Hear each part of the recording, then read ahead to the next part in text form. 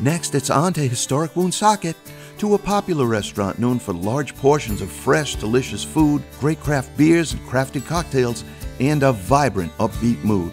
Yes, I'm talking about TV maitre d' fave River Falls. It's a 10 year old Northern Rhode Island success story that now boasts a comfortable and vibrant new tavern and an alfresco patio that has quickly become a Northern Rhode Island place to be and be seen. We're a casual themed restaurant. We cater to the surrounding area and, outskirts in Massachusetts and Rhode Island. We have things like big stuffed shrimp, prime rib. You can get sandwiches.